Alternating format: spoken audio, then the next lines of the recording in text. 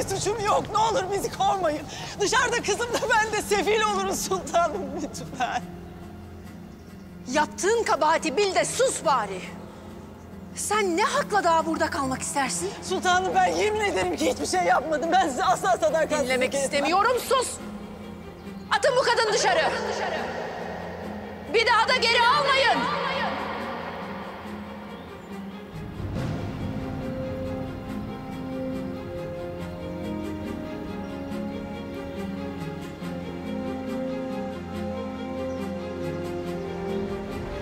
Firuze abla.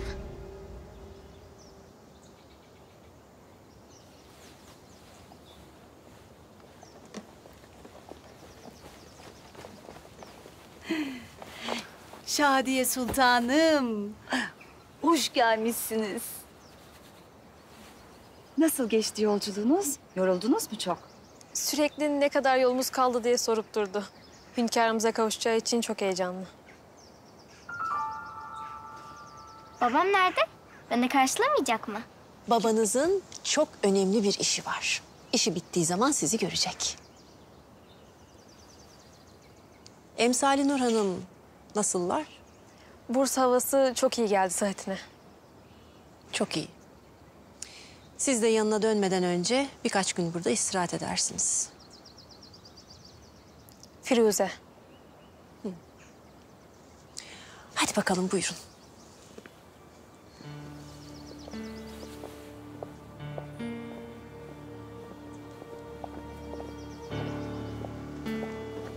Zahmet etmeyin. Ben taşırım.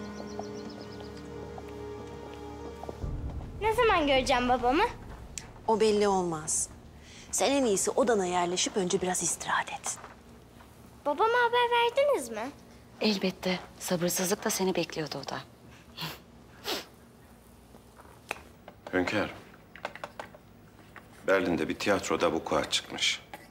Zatınızın temsilinde Osmanlı'nın yok edilişi konu alınıyormuş. Vukuatı çıkaran da zannımca Yeğenim Murat Efendi'dir. Baba. Hoş geldin güzel kızım gel. hoş geldiniz sultan. Ben geldim. Hoş geldin. Hünkârım bağışlayın. Şadiye Sultan sizi o kadar çok özlemiş ki durdurmak mümkün olmadı. Öyle mi kızım? Çok özledim de ondan. Ben de seni çok özledim. Çok büyümüş öyle değil mi hünkârım? Herkes öyle söylüyor. Büyümüş müyüm gerçekten? Evet çok büyümüşsün. Maşallah güzel kızıma benim. Maşallah. Odanı gördün mü? Görmedim. Güzel mi? Bilmiyorum artık orasına sen karar vereceksin. Hadi git bak hadi. Asmayladık hünkârım. Güle güle sultanım.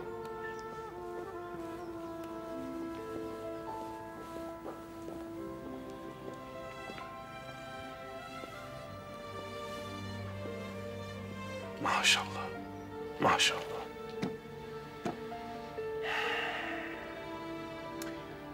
Çocuklarla çokça vakit geçirmek lazım paşam. Masumiyetleri bulaşıcıdır. Masumiyetini yitirmiş kişi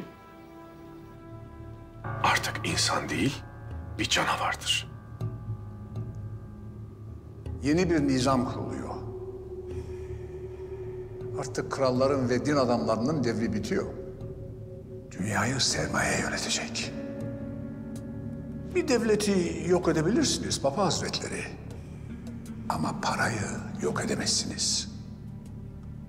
Vatikan'ın şirketleşme çabalarına karşı koyduğum için mi şu an karşımda oturuyorsunuz? Yo, yo, yo. Karşımızda değil. Yanınızdayım. Tanrı'nın kilisesini yöneten siz. Ya bu emrin Tanrı'dan geldiğini düşünün. Reddedersem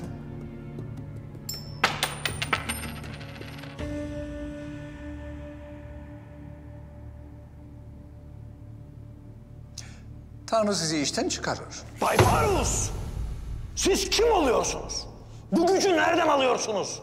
Sizi papa olarak seçen kardinalların borçlarını kapatanlardan. Lütfen oturun.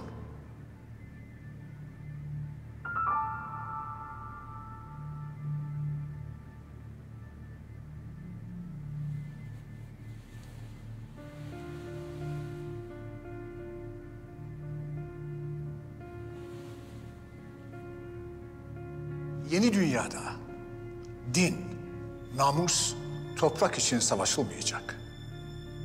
Para için savaşılacak Papa Hazretleri. Buna direnmenin faydası yok.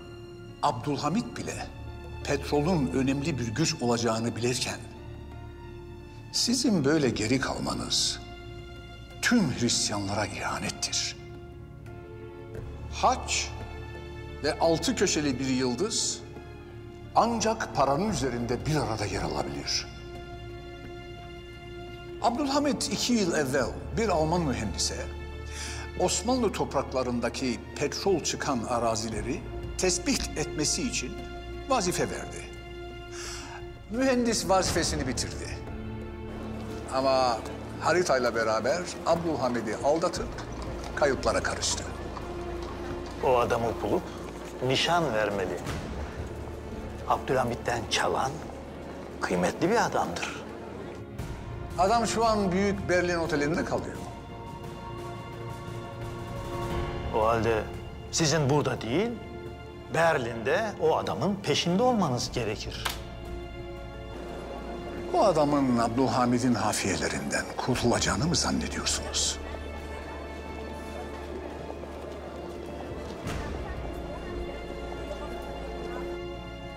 Siz ancak o mühendisin cesedine nişan takabilirsiniz. Papa Hazretleri.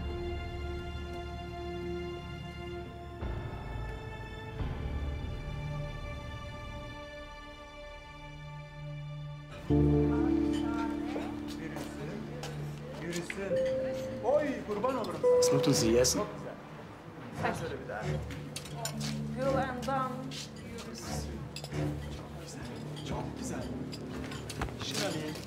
Ogul endam, al bir şare, bürünsün, yürüsün. Sen daha güzel söyledin. Bravo. Türkçe öğreteceğim size bak.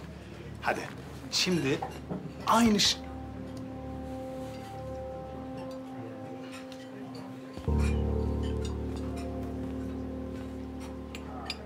Gayret edin. Şinalin. Şinalin. Olacak.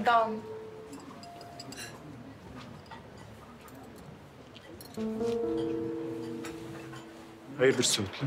Öyle garsonla haber göndermeler falan. Caiz değil. Ne caiz değil. Yani öyle namahrem kızların yanına gelmek. Ulan şiir öğretiyorum şiir. Bak bu da bir nevi fethi sayılır. Medeniyet fethi. Düşünsene Berlin sokakları Enderuni Vasıf'ın şiirleriyle yankılanacak. Ben olsam gurur duyarım. Hı hı. Söğütlü, hırsız mühendis hareketlendi. Haritayı sakladığı yeri öğrenmemiz lazım. Hadi. Şinelin, şinelin.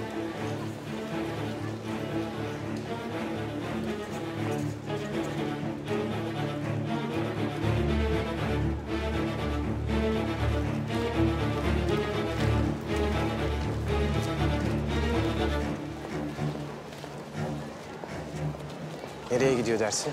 Nereye olacak haritayı ağlaya ağlaya bize teslim edeceği yere. Ateş ediyorlar Murat Efendi, Süper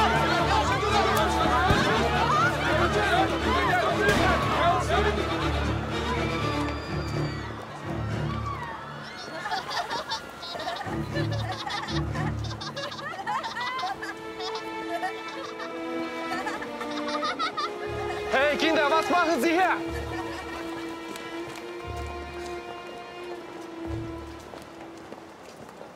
Ateş ediyorlar öyle mi Söğütlü ha? Al işte adam yok. Petrolün öneminden bahsediyorsunuz ve böylesine kıymetli bir haritayı Abdülhamid'e mi bırakacaksınız? Yoksa yeniden harita mı çıkarttıracaksınız? Abdülhamit'ten habersiz o topraklarda harita çalışması yapmak imkansız. Diyelim ki yaptınız.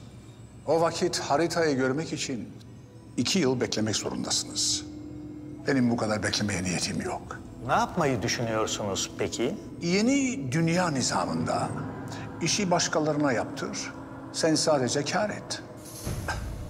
Abdülhamid'in hafiyeleri haritaya alacak, ben de hafiyelerden alacağım. Ben bunda kar görmüyorum. İşte bu yüzden siz papasınız, ben ise yeni dünyanın mimarıyım.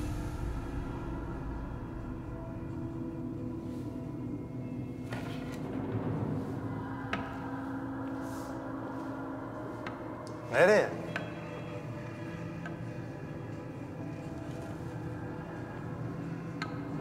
Payitahta.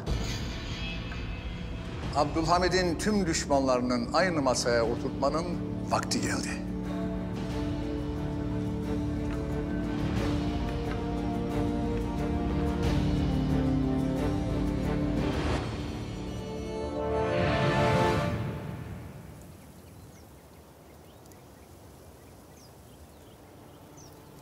Hayallerim. Rüyam. Bütün Siyonistler ve koca bir İsrail. Abdülhamit'in atlarının ayakları altında ezildi baba. Şimdi yalnızım. İnançlarımla ve İsrail'imle yalnızım.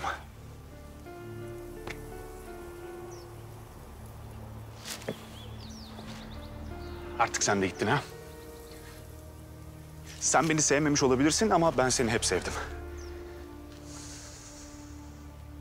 Şimdi sen kazandın. Ben de kaybediyorum.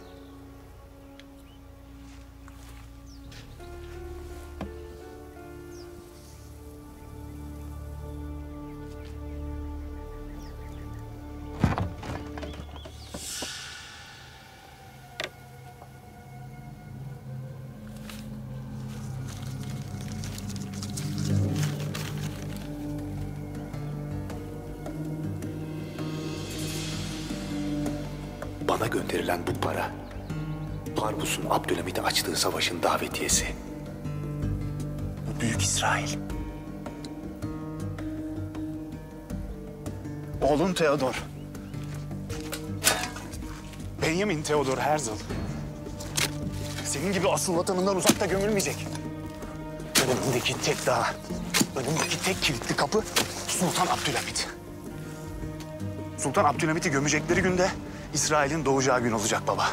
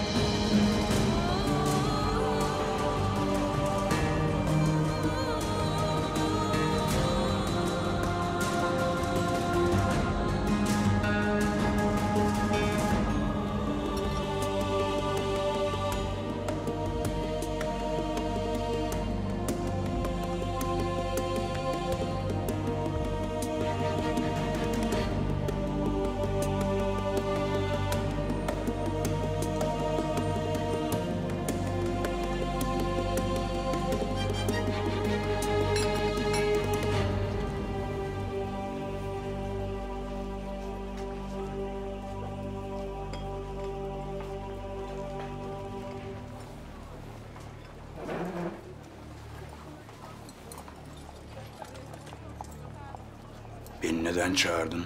Belanı mı arıyorsun? Sara'nın hatırasını arıyorum. Bu masada oturup dışarıyı izliyormuş. O kadar çok adam öldürdüm ki. Ölüm hakkında bildiğim bir tek şey var. Bir defa ölünce bir daha seni öldüremezler. Sara için sevinmelisin. Peki ben her defasında onu hatırladıkça ölüyor. Tekrar tekrar ölüyor. Azabım intikamımı harlıyor Hiram.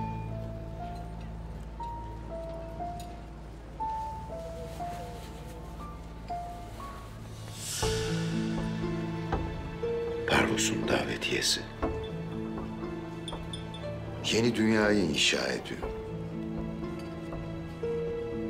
Ve o dünyada Abdülhamid'e yer yok. Seni de yanımda istiyorum.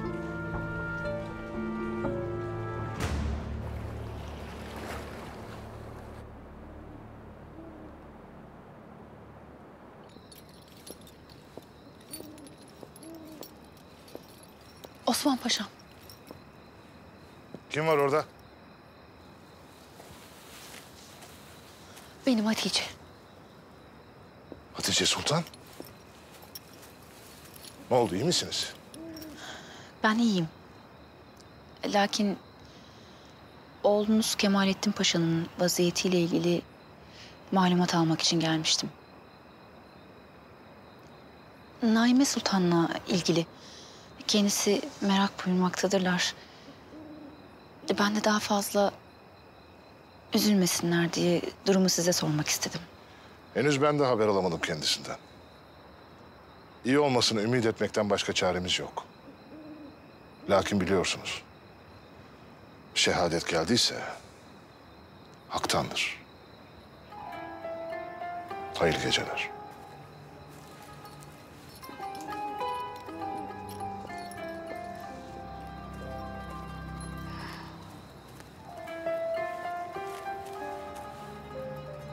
Abla ne oldu? Ne dedi Osman Paşa?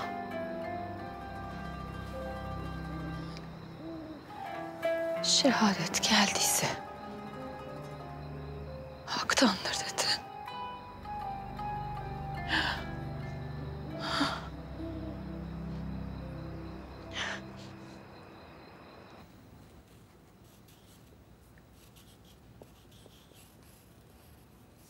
Olmuş mu?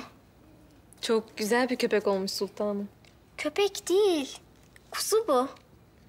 Hmm, o zaman köpek kılığına girmiş bir kuzu olabilir mi acaba? Olabilir.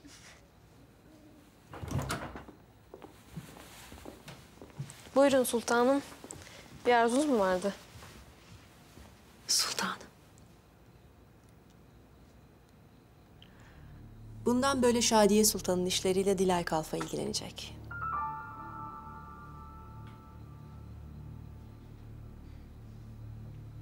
Hünkârımız sizi akşam yemeğine bekliyor.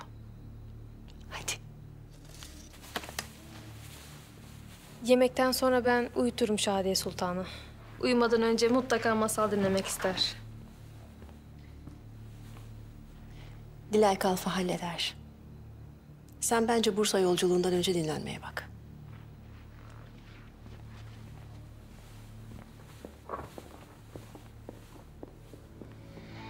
Buradan gidecek olan ben değilim. Sensin bir daha sultan. Sensin.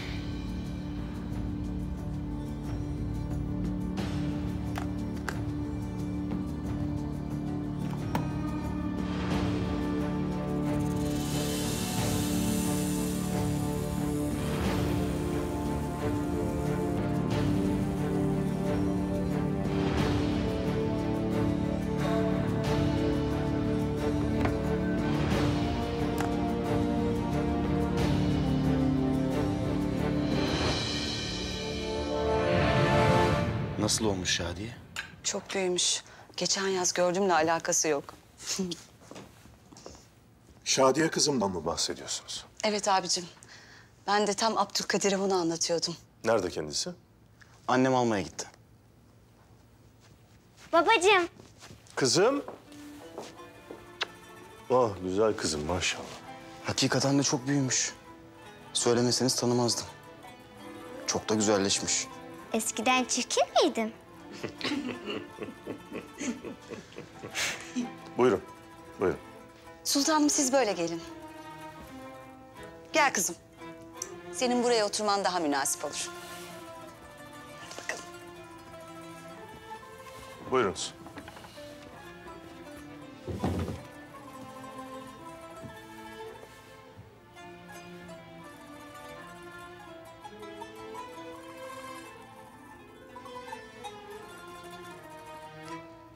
Bu dünyadaki en hakiki servet işte bu. Aile.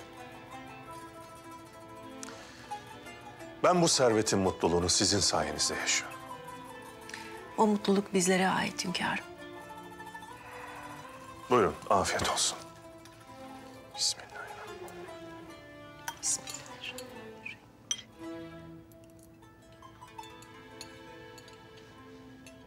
Naime kızımız bizim hislerimize katılmıyor sanırım. Bir sıkıntın mı var kızım? Hünkârım, dönen askerlerin içinde Kemalettin Paşa'nın olmamasından dolayı kızımız biraz endişeli. Kemalettin evladım, sizin de bildiğiniz gibi iyi bir asker olduğu malumunuzdur. Bu sebepledir ki kendisine mühim bir vazife verdim. Çok kısa bir vakitte sağ ve sıhhatli olarak burada olacaklar inşallah. Müsterih olunuz. Hala. Mahmut eniştem nerede?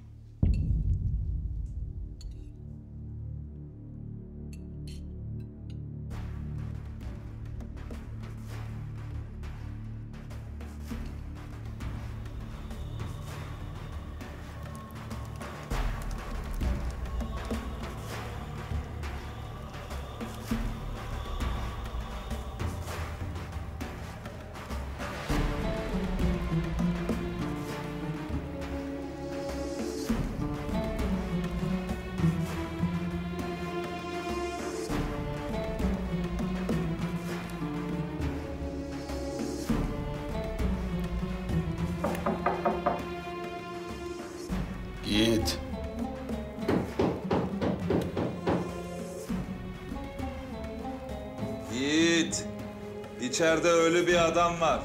Kokuyu da mı almıyorsun?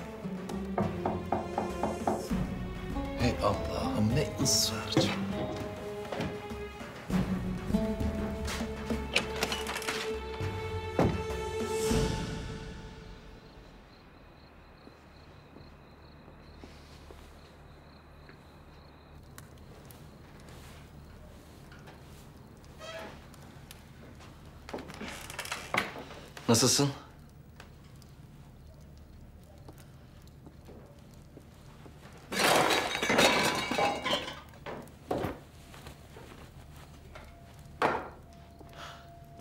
İyi misin? Neden benimle konuşmuyorsun pederim? Hı? Ne yaptım ben sana? Ben seninle değil, validen ve sen benimle konuşmuyorsunuz Sebahattin. Şu halime bak. Fakru zaruret içindeyim. Zavallı bir haldeyim. Biçare bir adamım. Elimden seni, valideni, ailemi, malımı, mülkümü aldılar. Beni rütbemden, paşalığımdan, makamımdan alaşağı ettiler.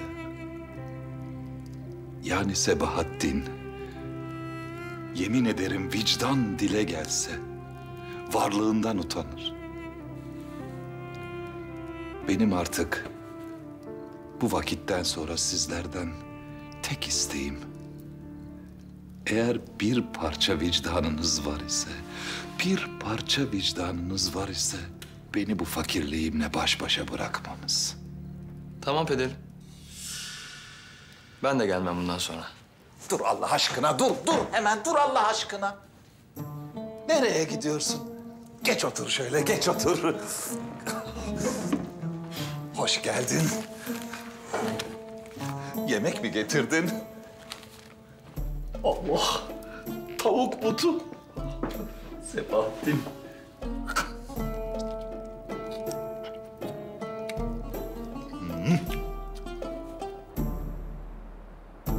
Vatikan'daki hafiyenizden mesaj geldi.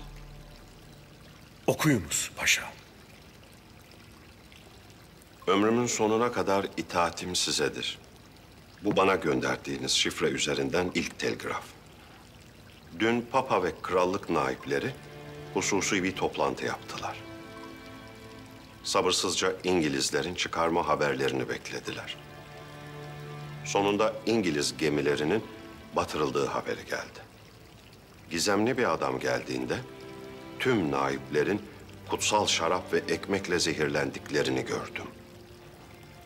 Kendisini yeni dünyanın nizam koruyucusu olarak tanıtan bu adam, sizin peşinizde olduğunuz bir haritadan bahsetti. Hafiyelerinizi takip ettiriyor. Haritayı onlardan alacaklarını söylediler. Yıllarca sessiz odalarda, üzerimde kardinal kıyafetleriyle söylediğim kelamı ilk defa söylüyor. La ilahe illallah Muhammedun Resulullah. La ilahe illallah. Muhammedun Resulullah.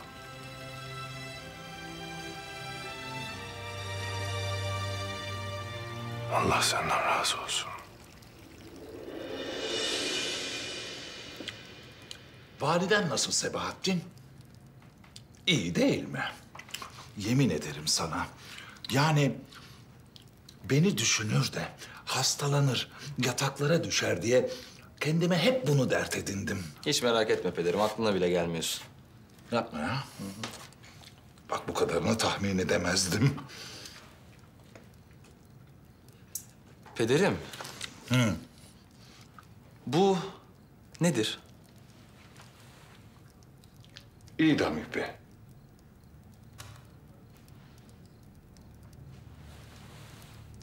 Abdülhamit'in boğazına geçiremediği ipi kendin mi boğazına geçireceksin? Sebahattin. Yani bu odada dayanacak gücüm kalmamıştı. Tahammül edemiyordum. Ee, yani geçmişte işlediğim günahların cezası üstüme üstüme, üstüme üstüme geliyordu. Ben de ne yapayım? Kendime o idam ipini yaptım. Bence idamdan kurtulmana sevinmelisin. Öyle. Burası toprağın altından daha iyi. Paşa babacığım. Eğer o fotoğraf Abdülhamit'in eline geçseydi... ...Mefta Mahmut Paşa babacığım olacaktın. Sahi. O fotoğraf ne oldu? Kim almış onu Abdülkadir'den? Bilmiyorum.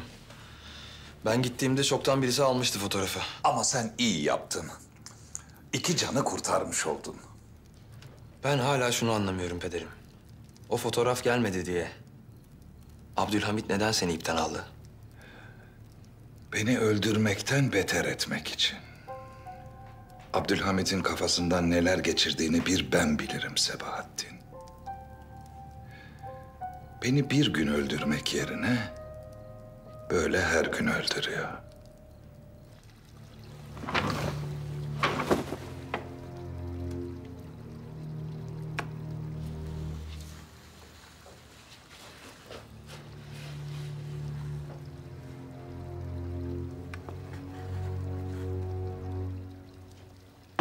Global monarşinin veziri. Oyuna giriyor paşa. Kralların üstünde bir güçle. Hünkâr, dünyadaki imparatorlukların krallarının üstünde bir gücü kim verebilir? Para. Tahsin Paşa, para. Dünyada yeni sınırları çizmek isteyenler büyük şirketler. Dünyayı pay ettikten sonra nizam kurması için birini seçmişler. Zerdüşlerin Ateşhade Tapınağı'nda bir ateş yanar. Yalnızca Fahri Kainat Efendimiz doğduğu vakit sönen. Tekrar harlanan ateş neyin üzerinde yanar bilir misin paşa? Bir neft kuyusunun üzerinde. Kafirler cahiliye döneminden beri bu siyah suya taparlar. Babil kralı bu yüzden savaşa girdi. Şimdi tarih tekerrür edecek. Allah'tan gayrısına kulluk edenler kendilerine yeni bir put yarattılar. Bu sebepledir ki paşa, bu haritayı mutlaka ele geçirmeliyiz. kafirlerin yeni putlarını mutlaka elimizde tutmalıyız. Şimdi Berlin'e yeğenim Murat ve Söğüt'le evladıma bir telgraf çekiniz. Peşlerindeki adamlara dikkat etsinler. Her ne olursa olsun canları pahasına o haritayı mutlaka payitahta getirsinler. Emri ferman efendimizindir.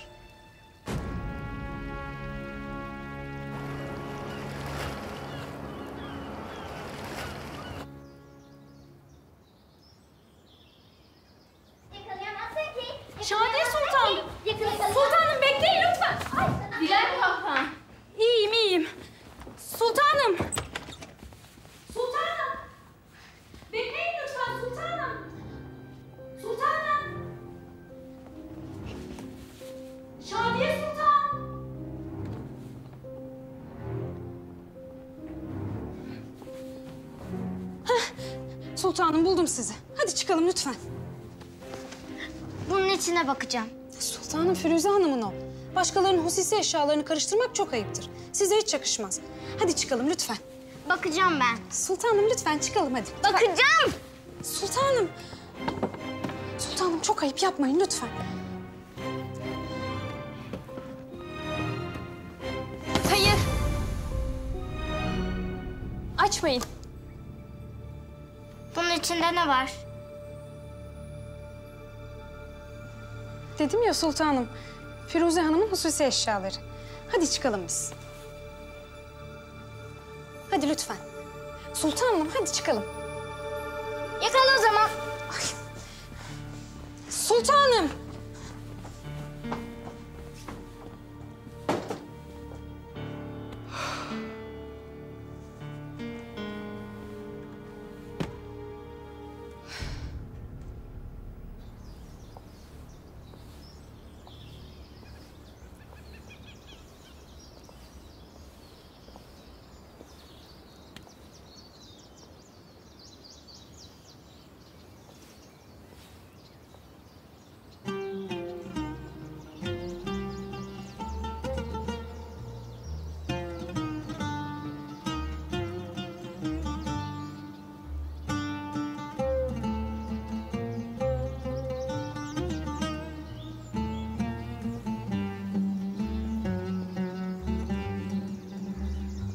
Validem, Oğlum hoş geldin. pek hoş gelmedim aslında. Neden ne oldu? Pederim, dün akşam yanına gittim. Bana ondan bahsetme demiştim sana. Validem, adamcağız bir başına han köşelerinde. Aç bir ilaç, yapayalnız. Hiç acındırma onu bana. Başına ne geldiyse, ne yaşadıysa hepsini hak etti. Ziyadesiyle hem de. Sizinle bir kez olsun görüşmek istiyor. Yahu bu kadarcık hakkı yok mu üzerinizde? Yok Sabahattin. Onun hiçbir şeye hakkı yok. Git babana söyle. Daha fazla ısrar etmesin. Yüzünü bile görmek istemiyorum. Çekil. Ah validem. Ah validem. Ben pederime ne diyeceğim?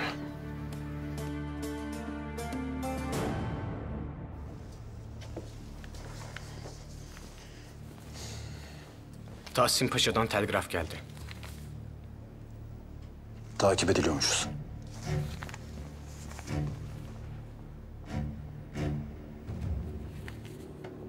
Kimmiş ulan bizim peşimizdekiler?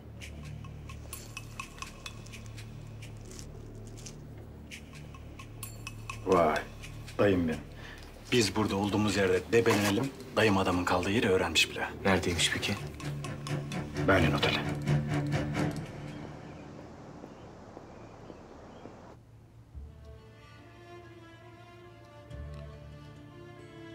Paşalarım. Zorlu bir harpten çıktık.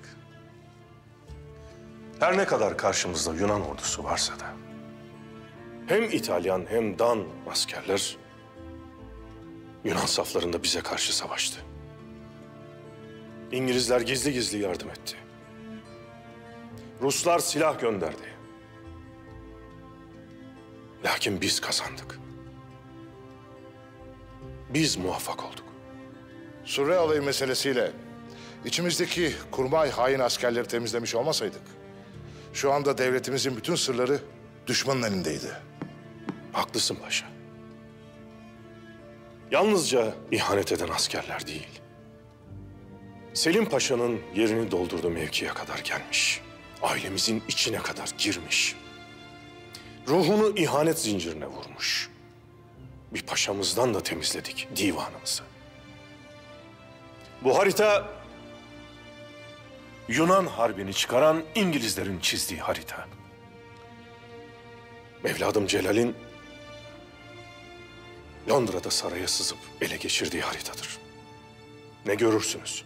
Paramparça olmuş devletimiz. Payitahta çan sesleri. Osmanlı paramparça. Bize yalnızca Konya ve civarını bırakmışlar. Bu Yunan Harbi bizim gücümüzü sınamak içindir. Eğer muvaffak olamasaydık, eğer zaaf gösterseydik, bugün bütün güçlü dünya devletleri bize savaş ilan etmiş olacaktı. Bundan vazgeçtiler mi hünkârım? Biz bu topraklara tutunmaktan vazgeçtik mi ki onlar da vazgeçsin? Biz sözümüzden vazgeçtik mi? Biz okuduğumuz ezandan, dalgalanan bayrağımızdan vazgeçtik mi ki onlar da vazgeçsin?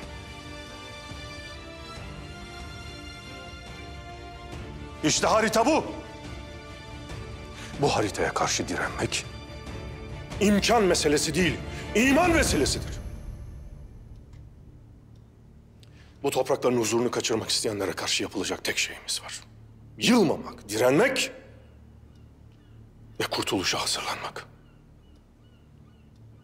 Paşalarım, memleketin her köşesi imar edilecek. Her an memleket için çalışan, gece düşünde devlet gören, gündüz uyandığı vakit bu millete nasıl hizmet edeceğini düşünen bir tebaamız olacak. Bir hayalimiz vardı. Hatırlar mısınız? Demiryolu meselesinde sona geldik. Çok şükür.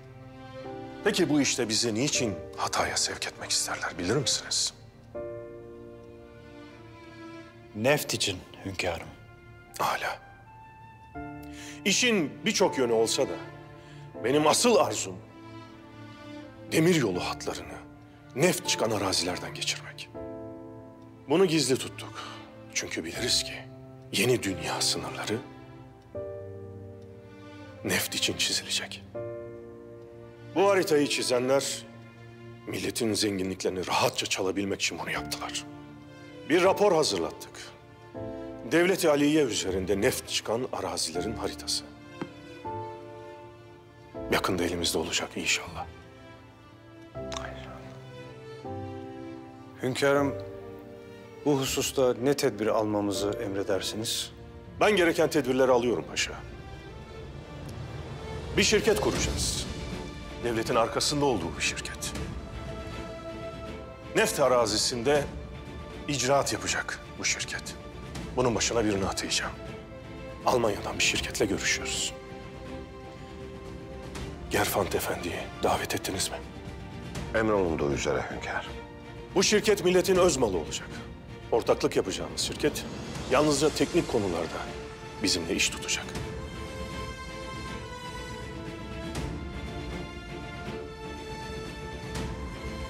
Bize harita çizip ömür biçenler bilsinler ki Allah izin verdikçe kainat devri daim ettikçe kimse bu millete pranga vuramayacak.